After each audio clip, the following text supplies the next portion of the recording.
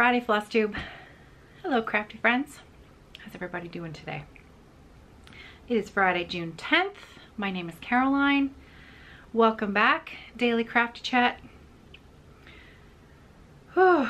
So, I am just gonna put a few stitches into my sock while I visit with you. I'm taking a little bit of a coffee break from sewing and um, you may hear the odd, you may have noticed this over the last couple of days. I'm not sure if you have because I, I didn't say anything, but we have a lot of hawks in this area. Um, and it just seems like, especially this year, there seems to be have been an explosion in the hawk population. And for the last week,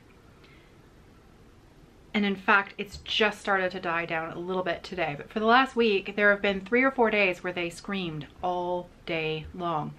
Um, and, and hawks shriek for various reasons, hunting, um, defending their territory, you know, I would assume that's how they, you know, they would call to their young as well. There's got to be a nest or something nearby.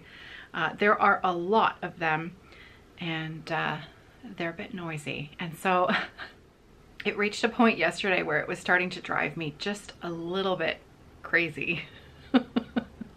but um, it's quieted down a little bit today and it has become a little less frequent. So who knows what was going on. But in case you do hear that, that's, uh, that's what that is. So yes, I'm working on my sock. Just a little reminder that there is going to be a learn to knit sock along. This is going to uh, happen in the Facebook group that uh, Louise Patterson and I started in conjunction with the YouTube tutorials on learning how to knit a sock. And you can find those in the playlist section of this channel. And Louise's pattern is $5. And if you join up over on the Facebook group, uh, she is walking through all of the steps from start to finish of using her pattern, knitting a super simple cuff down sock. And so if you've always wanted to learn how to knit a sock, um, for the price of the pattern, you'll have access to uh, Louise along the way. And uh, she is a knitting teacher. So, and she's also, she's very, very patient which is probably one of my favorite things about Louise because it doesn't matter what problem you're having. If, if it's, you know, a knitting problem, she gets her teeth into it and she, she's, she works at it until she helps you figure it out. So I can't say enough good things about Louise. If you have always wanted to learn how to knit socks, um, it's a great opportunity. So I will be, you know, popping in to help with the moderation of that group and uh, also posting my sock as we go. Because you know I don't think we're going to finish it this weekend but we'll go step by step along with Louise and she's going to be posting links to the videos as we go. So the name of the Facebook group is learn to knit socks with off the grid needle arts and wildflower wool I didn't give you the full title of the group yesterday I did a terrible job um, and again I'll I'll put the exact name in the description box below this video in case you've had trouble finding. And then speaking of mystery stitch alongs, this is actually, I'm going to be doing this. Hopefully I can keep up. It's a small mystery stitch along that my friend Patty Brake from Newfoundland, um, she is four boys and an NL girl, and it is a Woodland Creatures Mystery Stitch Along pretty fun. And it's going to be starting on August 1st and it's going to run through September 15th, 2020. So I will put up all of the information on that mystery stitch along that I have, again, in the description box below. And I think it's $5. Let me see. Um, let me read you the information directly from Patty herself. That would be more helpful, wouldn't it? Just find it here.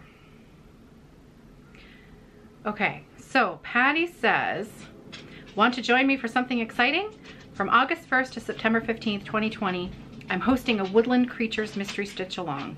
This is a cross stitch stitch along.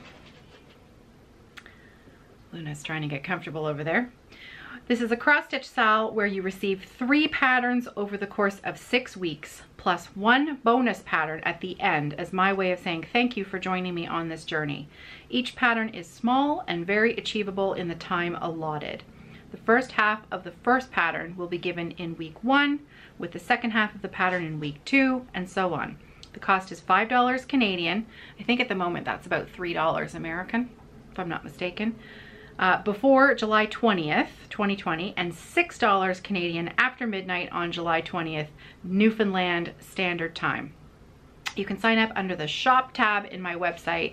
Uh, fingers crossed you'll join me there. I can't wait to share these cute patterns with you. So that's the Woodland Creatures Mystery Stitch Along, uh, starting August 1st. And I will be joining in with that.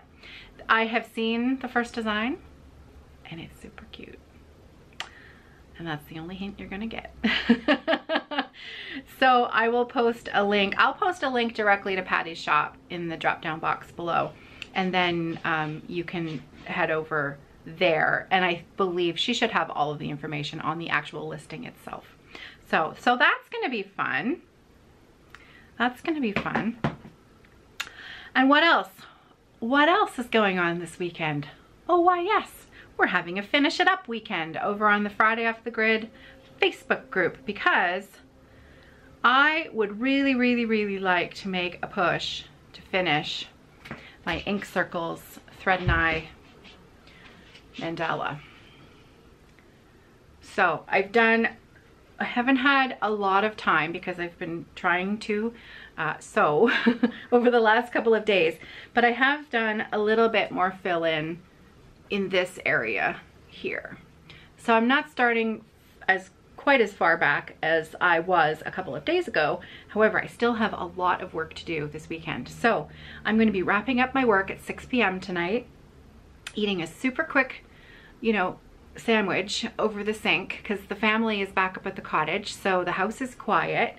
Some floss tube queued up and maybe a little bit of Star Trek in there as well. So I'm starting at six o'clock tonight and I'm, I'm planning to stitch until midnight. I had a really good night's sleep last night.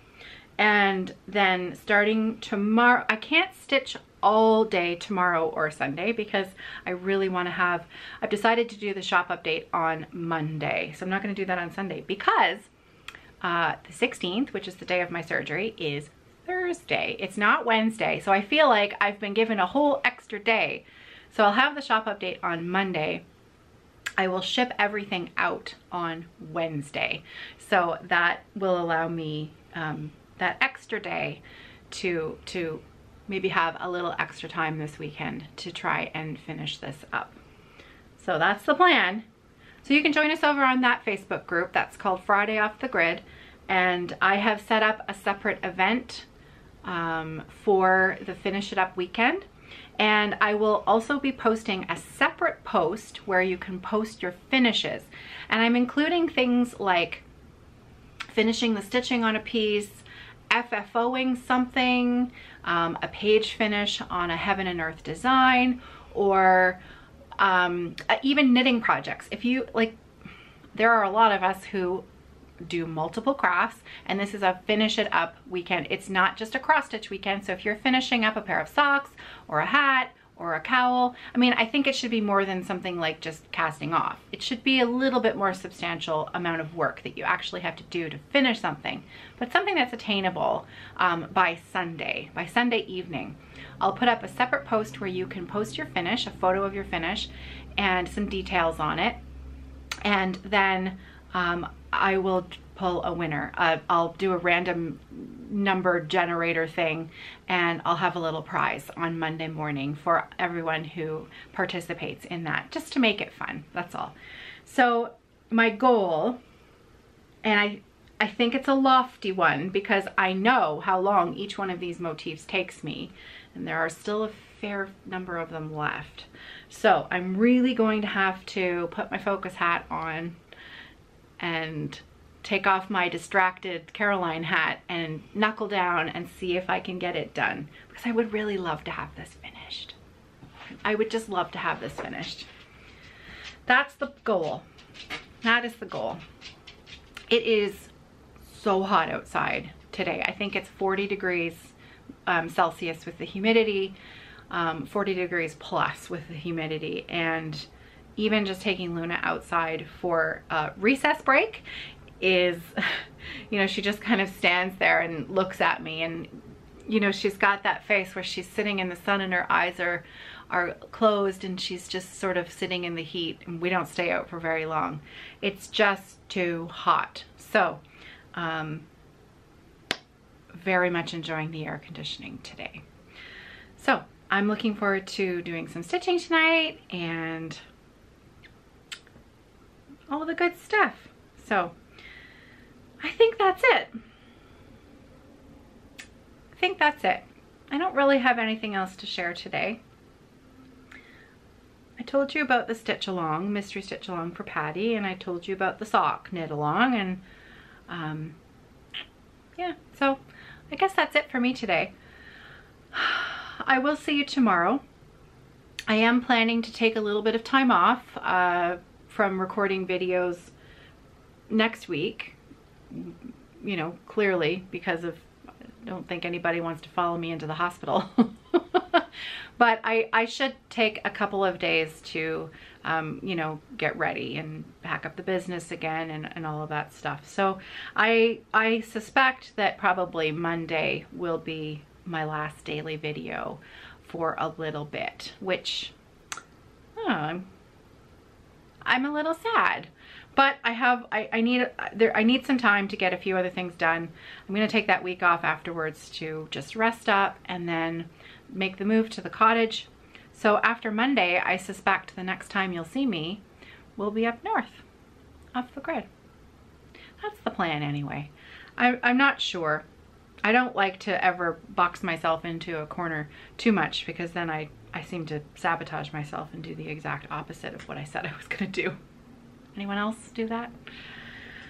Anyway, I am almost on the cuff of my second sock, which seemed to just practically knit itself. It was kind of, I just love this yarn. Again, this is the Cozy Knitter. Uh, it was a Christmas colorway from a few years back and I bought it from my friend Dawn when she destashed it. So I'm really enjoying that. And I'm pretty sure I may have enough yarn left to make a little pair of shorty socks when mine are done. So I might make Sarah, she likes, she tends to like the, the sort of ankle socks. I might make Sarah a matching pair, maybe the Rose City roller pattern.